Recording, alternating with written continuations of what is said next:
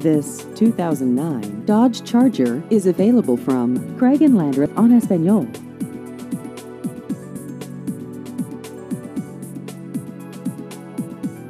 This vehicle has just over 63,000 miles.